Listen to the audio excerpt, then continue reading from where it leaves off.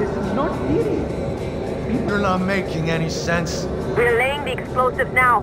Get out while you can.